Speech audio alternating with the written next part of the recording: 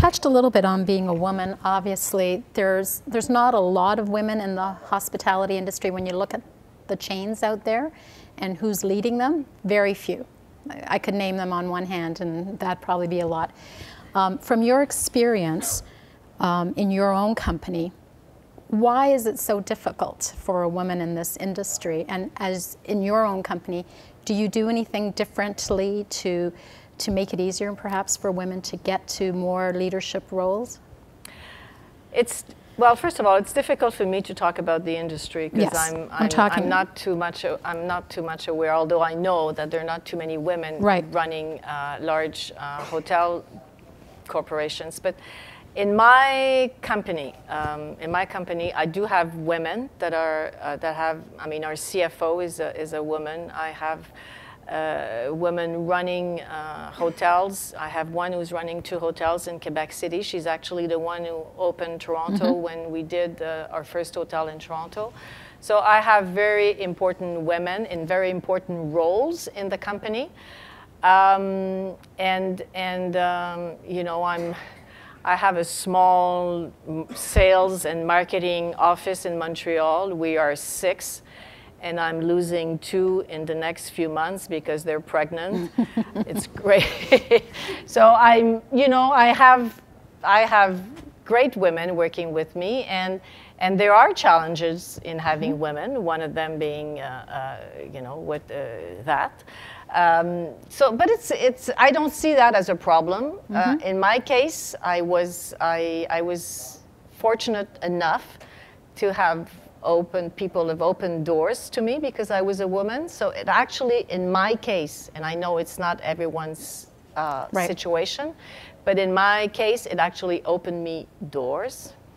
Uh, but then again, if you if it opens you doors, you have to be able to do the job that is required, Right.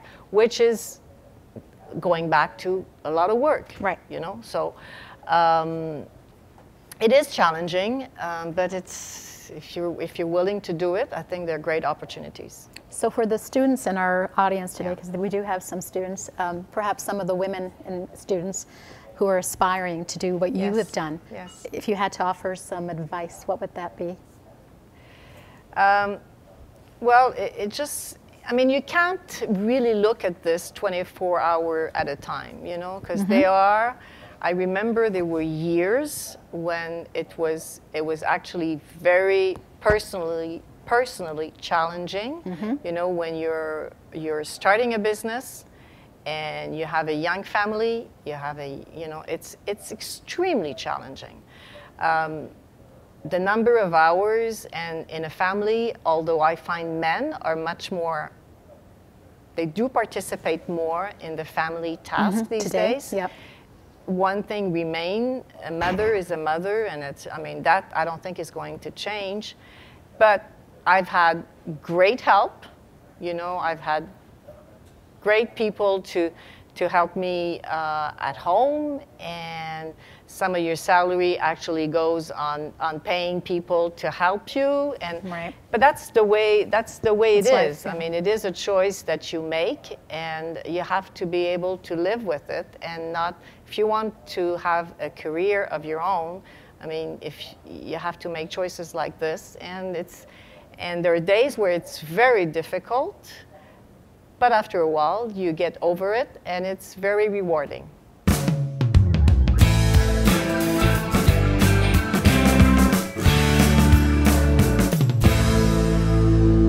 Let's talk a little bit about service. When, when people talk about Le Germain Group, service always invariably comes up. You have great service um, ethos. And how do you define great service in, in your properties? You talked earlier that you know hotels are not rocket science. It's all about hospitality and service. Yet there's a lot of hotels out there that don't follow that same philosophy. How do you do it? What It's good. it's good for you, yes. It's good. How do you define great service and how do you deliver great service? Uh, well, defining is, is, is easier than delivering, right? Uh, defining, well, good service, I think, has to be authentic. To me, that's very important, very, very authentic. It has to be discreet, you know. Um, it has to be, of course, personalized. Uh, I hate well, I hate, I shouldn't say that, but I, I like when service is really personalized for the guest, but also the person that's giving the service. Mm-hmm. You know, I think if you want a service to be authentic, you have to respect the personality, the personality of the person that is giving the service. You know, okay. so I don't like service that is script all right. the time. You know, uh, people that say the same thing all exactly. the time. I don't. I'm not too crazy about that. So, so all of this, how to deliver good service, I guess, is is done when you hire the right person to do it, mm-hmm. to actually deliver the service. Everything starts there, hiring the right people. And the right people is not necessarily the one who has the most experience, mm-hmm. but the one that has the attitude to give service. Because giving service is something that you have inside of you. It's not, I mean. You can't train that? No, no, no, no, no, no, no. You have to feel good about giving service. Mm-hmm. If you think that giving service is, is it, you're too good for that, then you're not the good person right. to do it because you, it takes a bit of um, you have to be a bit humble. Humble when you give service. Right. So you have to you really have to choose the right people. You look at this picture. Uh, this lady, she's a concierge at uh, Maple Leaf, and she had never done this when you when we hired her. I mean, she had wow. never worked as a concierge, but her attitude was so, hein, Paul? I mean, her attitude was so that. I mean, this is what we want. Right. And she's great. I mean, she really is great. So to me, that's very important. So when you're hiring people, obviously you don't get involved in every single hire, but the managers that hire for you, what are they looking out for? I mean, obviously attitude, personality. What else is on your hit list of requirements? Uh, well, attitude, personality, willing to learn. I mean, you have, because if you don't, especially when we hire, as I said, we hire people that don't have that much experience, mm-hmm. so they have to be willing to learn. That's right. very important.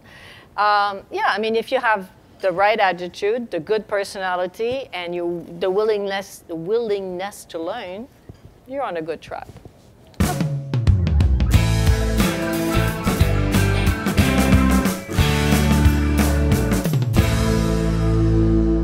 The last um, 10 years have been very um, difficult for the hotel industry. We've gone through a lot of changes, a lot of evolution. Business climate has become more challenging. In the last few years, there's also been more competition out there. In a matter of two years, we've had four new luxury properties open in Toronto. Very, very tough business these days, and more hotel brands out there. What do you think? Um, I guess the hotel of the next decade will be different from today's brand. I mean, how are you going to have to evolve as a hotel company to make, you know, to make, um, to make sure that you're meeting all the evolving needs of the, today's customers because they're changing every day? Well, to my point, you have to be there to know what their needs are. You right. know, you have this.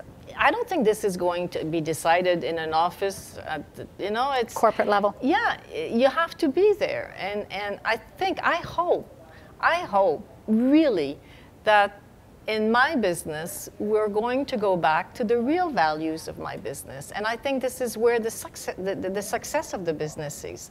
We've been, we have, I think the hospitality side of the business has lost some of its. Hospitality? Yes.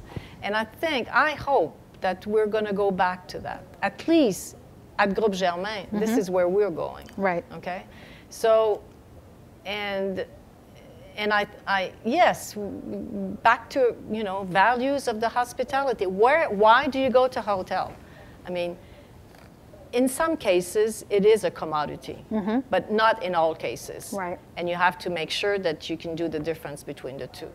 And I, in my opinion, if you if you want to be successful in, in, in the future, you have to be close to those values, close to your guests, close to your employees. This is a people's business.